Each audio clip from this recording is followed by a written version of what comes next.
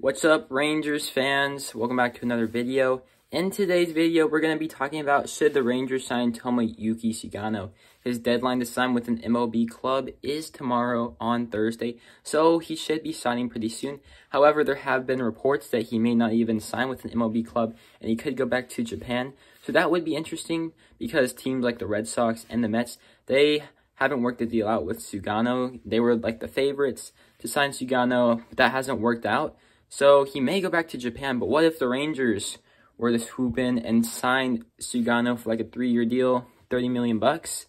I think that'd be pretty fair. I think it'd be a fair deal for both parties, but I don't think it makes too much sense for the Rangers. I mean, they just signed Kohei Arihara, another right-handed pitcher from Japan, and the rotation is kind of already set, in my opinion, for this year. They have Kyle Gibson as the number one, Jordan Lyles as the number two, Dane Dunning as the number three, Kohei Arihara as the number four, and probably Kolby Allard as the number five. I get that's not a good lineup, but I think it's set, and I don't think the Rangers would want to spend another 10 mil per year on another pitcher that's already in his 30s.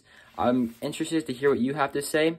Um, but let's just take hypotheticals into account. If the Rangers were to sign Sugano, where would he um, fill into the rotation and who would come out of the rotation? So most likely he would fill in probably as the number two, maybe even the one number one starter for the Rangers rotation. So he would definitely help out, but I don't think he fits the timetable because he's a 31-year-old pitcher and the Rangers are in the rebuild process and they want to see what they have in their younger guys like Dane Dunning, Arihara, Kolby Allard, Brock Burke, etc., etc. If we sign Tomoyuki Sugano, then that takes away a spot from like Kolby Allard, Brock Burke, or Kyle Cody. Uh, I mean, we still get to see what we have in Dane Dunning and Kohei Arihara, but it just takes away a year of development. I mean, you could trade Jordan Lyles, but I just don't think that a Tomoyuki Sugano trade will work out for the Rangers. I'm just interested to see what um, you Rangers fans have to say.